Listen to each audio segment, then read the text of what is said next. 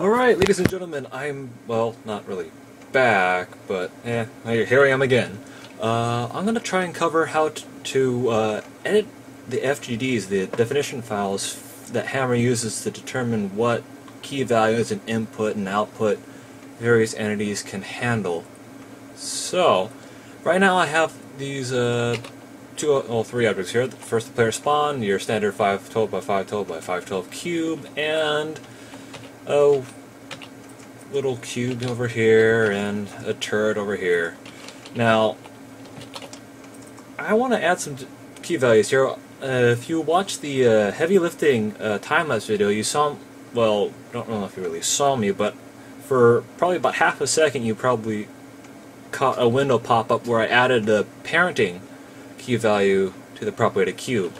What I'm going to do is add uh, I.O. to it so you can change its color. And if I open up the properties here, let's see here, uh, yep, no color input. So I'm going to add a color input there and go over here to this turret and see what I can add to it. So first thing, let's compile this and pop in the portal 2. Getting there, getting there, not responding. Awesome. There we go. Now, first thing I want to do in here, okay, turret's facing the opposite direction for obvious reasons, but uh, first thing I want to do is clear the console. Just clear, hit enter, it'll blank it out. Now, I want to make sure the cubes can support color, the color input. So I'm going to do int info prop weighted cube. It'll spew a whole bunch of stuff there. Yes, I see what I'm looking for, however. I'll go to the top here, it'll show you all the I.O. the engine says it'll support, not the FGD. That's very important, because as I showed you earlier in the help window for the cube, it didn't show color being a supported input, but here it is, right there. So now I want to test it. I didn't name the cube, so I'm going to have to uh, fire the input by typing in the actual entity's name, class name. Oops.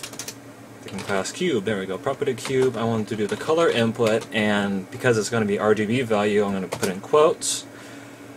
Let's choose the default alpha value for bitmaps, or PNGs for sprites. 255, 0, and 255. A annoying pink. Enter that in, and lo and behold, we have a pink cube. Now, let's see what the turrets will support. So int info npc portal turret floor, I believe. Yep. I'll go up here, and actually, it supports color as well. So let's give that a try. I'll just go to my history and replace the entity name here with npc uh, portal turret floor. And we have a pink turret.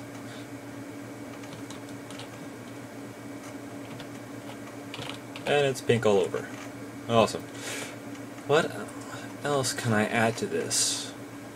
Go to something key. Can this be parented? That's what I want to know. Can this be parented? Let's see here. Oh, here we go. Set parent, clear parent. Let's test this. Head file the full. Okay, turret floor. Uh, I'm gonna set the parent to myself. Yep, that works. Alright, so, time to pull up those FGDs and uh, make the changes for Hammer. Now, for me, uh, Portal 2 is installed in the Steam Apps Common Portal 2 folder. I think some people may have it installed in the retail folder, which case it would, not retail, but the uh, download a different uh, file path for downloads for, that would actually be your Steam apps, your Steam name, your account name, and then Portal 2 and it'd go through there. So what I want to do is go over to Steam Apps, go to Common, scroll down here, Portal 2. Now, the tools are going to be in the, the binary folder, bin. And that's also where we're going to have the FGDs that I want to edit. Right here, base FGD, Portal, and Portal 2. Could be Half-Life 2 entity uh, FGD because there may be some entities in there that are used, but I know for a fact the two I'm looking for aren't in there right now. How do I know? Well, I did a little tweaking earlier.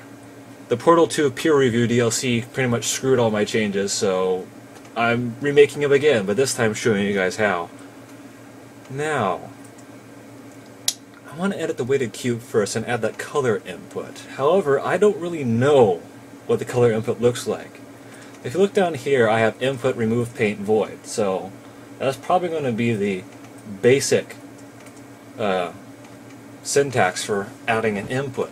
But I want to find an entity that supports the color input. So let's see here, we have input space, the input name, so I'm going to input space color and apparently we've jumped down here to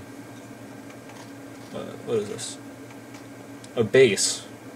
Base class. Okay we're in base FGD so we're just gonna get base class. What I want here is input color right there 255 copy that. Now I need to figure out where the weighted cube is. It's either going to be in portal 2 or portal. Now the weighted cube that was in portal so I don't think they're going to copy and paste that back in the Portal 2 when they could just only add the new entities to Portal 2 and leave everything else in Portal. So I'm going to search in the Portal FGD and see if I can find a prop weighted cube.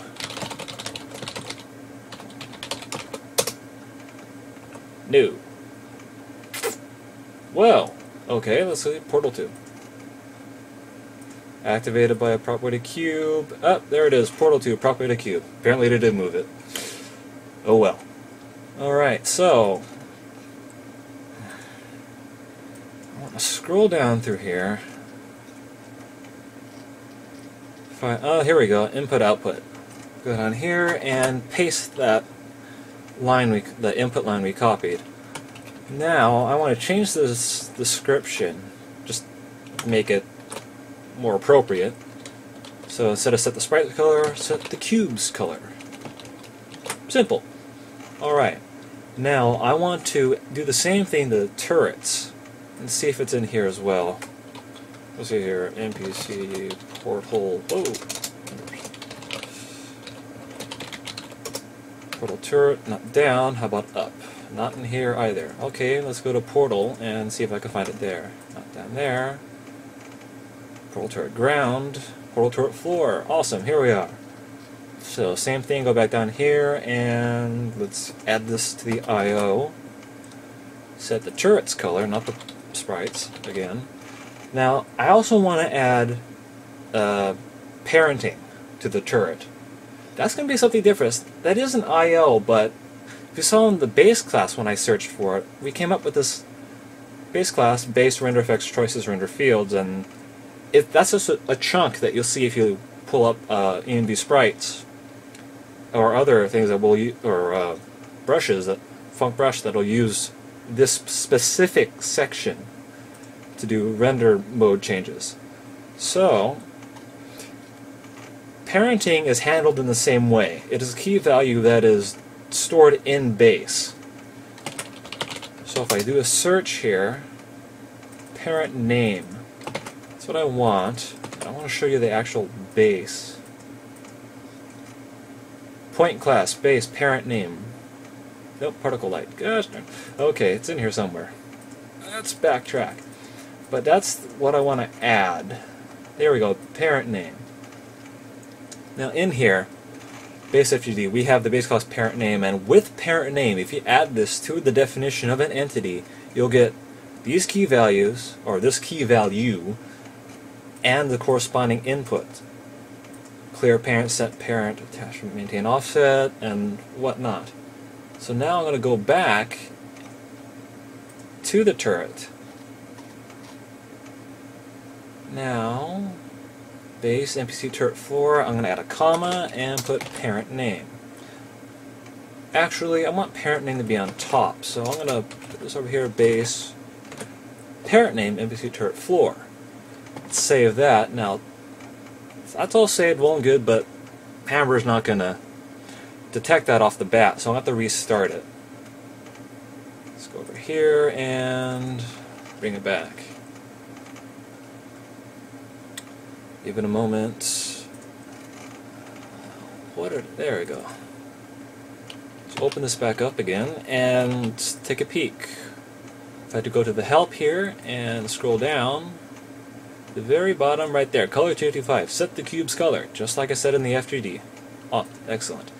Go to the prop, uh, portal floor, there it is, the parent key value, and if I go to help,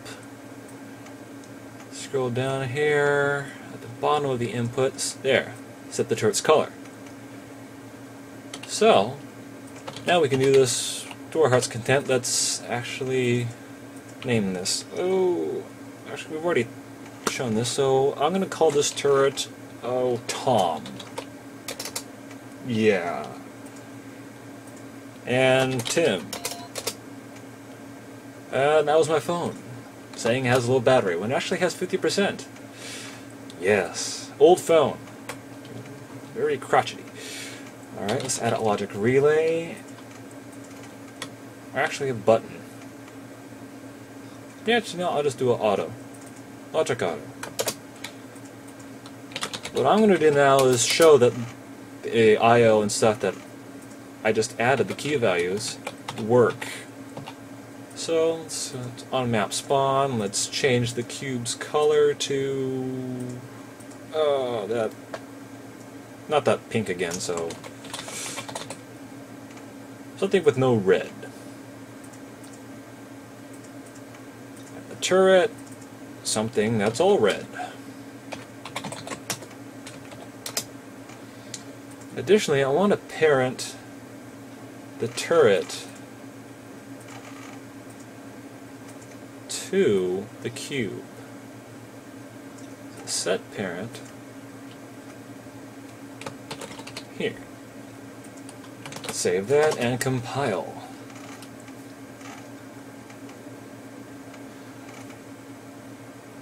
Oh, right. Come on. And there we are. We have a blue cube, or more of a really light blue turquoise maybe, cube, and a dark red turret. If I go over here and pick up the cube, we now have the turret moving with it.